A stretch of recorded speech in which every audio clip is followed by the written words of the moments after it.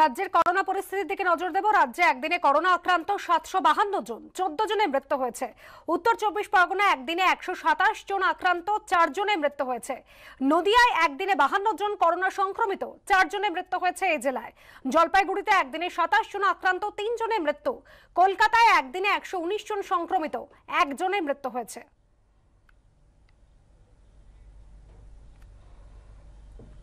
শিক্ষক সংগঠনের জোড়া সম্মেলন, ক্ষুব্ধ সৌগত রায়। মধ্যম গ্রামের তৃণমূলের শিক্ষক সংগঠনের সম্মেলন, কাল বারাসাতে তৃণমূলের আরেক গোষ্ঠীর শিক্ষক সম্মেলন। একই সংগঠনে কি করে দুটি অনুষ্ঠান? প্রশ্ন তুলেছেন সৌগত রায়, তিনি ক্ষুব্ধ হয়েছেন। এরকম হলে মানুষের কাছে ভুল বার্তা যাবে মধ্যম গ্রামের মঞ্চ থেকেই হুঁশিয়ারি, ক্ষুব্ধ সৌগত রায়।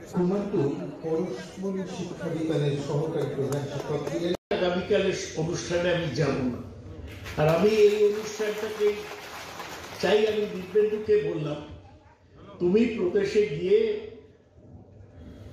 এর কাছে, সুব্রত বক্সির কাছে, দলের সভাপতি ব্রাত্য বসুর কাছে তুমি বলো যে তুমি যেটা স্বীকৃতি দিয়েছ, তার বাইরে আরেকটা কমিটি কি করে ফাংশন করে? এবং যে ফাংশন করছে, সে আবার ডিপিএসসি চেয়ারম্যান প্রাপ্ত হয়তো এবার অনেকদিন পরে মন্ত্রী হয়েছে, সবটা জানে না, কিন্তু এটা ঠিক নয় সংগঠনে যদি আমরা পুরনো লোকদের গুরুত্ব না দিই, তাহলে সংগঠন কেউ করবে না। সংগঠনে পুরনো লোকদের গুরুত্ব দিতে হবে। সংগঠন থাকলে তার মধ্যে গ্রুপিজম থাকতে পারে। কিন্তু গ্রুপিজম আর প্যারালিজম এক নয়। দলবাজি আর সমান্তরাল সংগঠন চালানো এক নয়। সত্য অন্তহীন।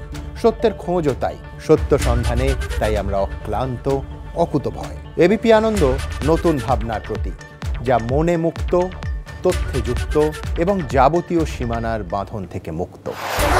সীমা না, শব্দটির মধ্যে লুকিয়ে আছে মানা শব্দটি, যেন চোখ রাঙানি, এক অদৃশ্য বেড়াজাল, যা আটকে রাখে আমাদের এক ছোট্ট গণ্ডির মধ্যে।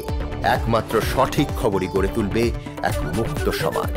সেই জগৎ গড়ার লক্ষ্যে কোনো সীমানার ঠুকুটি আমরা মানব না। এবিপি আনন্দ, এগিয়ে থাকে, এগিয়ে রাখে।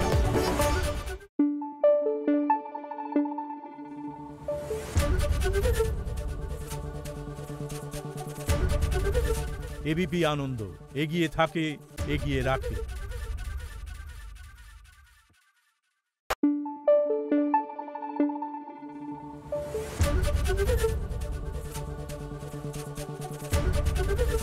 এবিপি আনন্দ এগিয়ে থাকে এগিয়ে রাখে।